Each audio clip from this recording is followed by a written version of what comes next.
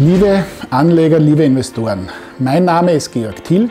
Ich bin Geschäftsführer der Captura Unternehmensgruppe und ich möchte Ihnen heute in diesem kurzen Video Antworten auf die häufigsten Fragen, Ängste oder Einwände zur Vermietung geben. Allererst beginnen wir mit Leerstand bzw. Mietausfall.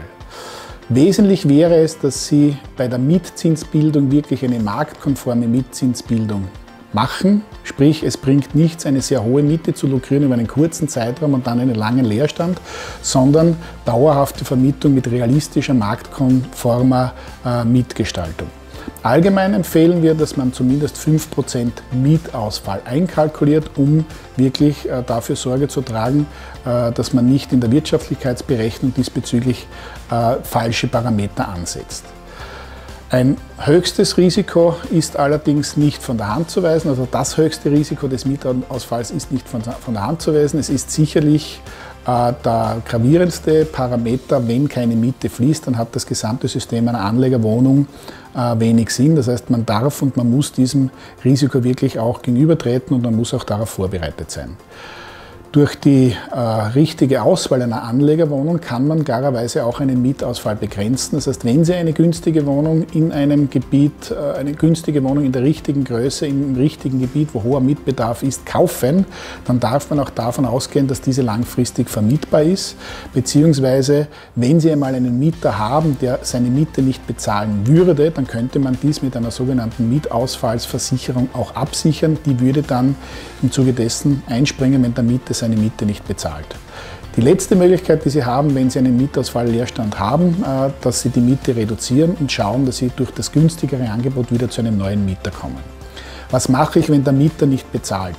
Allgemein empfehlen wir eine Subverwaltung, die wirklich ein sehr professionelles Management diesbezüglich hat. Das beginnt beim strikten Mahnwesen, das heißt, da gibt es keine, okay, wir warten, wir verstehen die persönlichen Umstände, sondern wenn ein Mieter nicht bezahlt, dann tritt das strikte Mahnwesen in Kraft, was auch klarerweise äh, den, den, das Ein Fordern der Miete oder den Zeitraum, bis die nächste Miete fließt, drastisch verkürzen kann.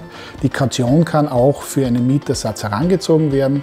Der Mietvertrag ist aufgrund einer ausbleibenden Miete jederzeit kündbar, sofern das Mahnwesen richtig gestaltet wurde. Eine vorübergehende Stundung einer Mietung ist eine Option, aber würden wir wirklich da in dem Sinne als letzte Option sehen. Der Mieter richtet in meiner Wohnung einen Schaden an, jedem Mieter wird innerhalb des Mietvertrages eine Haushaltsversicherung vorgeschrieben, sodass solche Schäden zumindest über den Versicherungsschutz gedeckt sind. Darüber hinaus wird klarerweise eine Kaution herangezogen, wenn der Schaden dadurch abgedeckt werden kann. Wenn die Kaution nicht ausreicht, haftet der Mieter persönlich für alle Schäden, die passieren. Natürlich braucht man einen Mieter mit der dementsprechenden wirtschaftlichen Bonität. Die wirtschaftliche Gegebenheit eines Mieters wiederum wird über die Subverwaltung kontrolliert. Wenn die wirtschaftliche Gegebenheit nicht ausreichend ist, kann man klarerweise auch einen Bürgen für einen Mieter anfordern bzw. bestimmen und darüber hinaus als letzte Option, wenn man sich nicht ganz sicher ist, kann man die Kaution auf bis auf sechs Monatsmieten erhöhen, sodass da eine gewisse Sicherheit vorhanden ist.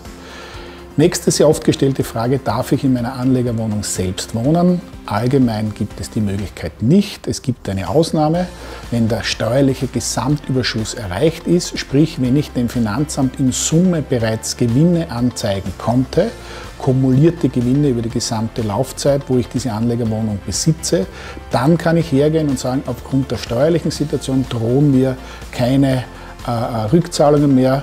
Ich kann in meine Anlegerwohnung einziehen. Das Einzige, was zu berücksichtigen ist, die Untergrenze ist 20 Jahre, weil die Umsatzsteuer, äh, die ich mir geholt habe, zu Beginn eine 20-jährige Vermietung vorsieht.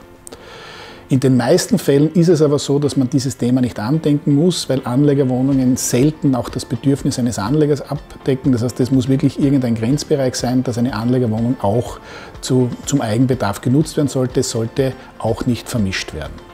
Darf ich eine Anlegerwohnung an meine Kinder vermieten? Auch hier allgemein nein. Ausnahme ist, mein Kind ist nicht mehr unterhaltspflichtig. Sprich, wenn mein Kind als Beispiel mit, mit, mit 20 einen Beruf ergreift oder mit 27 nach dem Studium in meine Wohnung einzieht, dann ist dies möglich.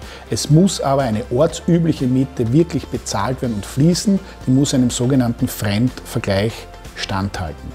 Muss ich die Miete versteuern? Ja, klarerweise, allerdings nur den Gewinn daraus. Abschreibungen und Ausgaben hinsichtlich der Anlegerwohnung werden meiner Miete gegengerechnet und der verbleibende steuerliche Gewinn zählt in den meisten Fällen bei, also zählt bei, bei natürlichen Personen zu Einkommensteuer und wird mit dem Einkommensteuersatz zu versteuern sein. Die ersten drei Jahre ist die Summe des Gewinnes extrem gering, sprich, da sind eher höhere Ausgaben, das hat meinen steuerlichen Vorteil. Äh, allgemein ist es aber so, dass Mieten grundsätzlich von der Sozialversicherung, also Gewinne aus Mieten von der Sozialversicherung befreit sind, aber nicht als wirklichen Steuervorteil zu sehen sind, da Mieten ja zu versteuern sind.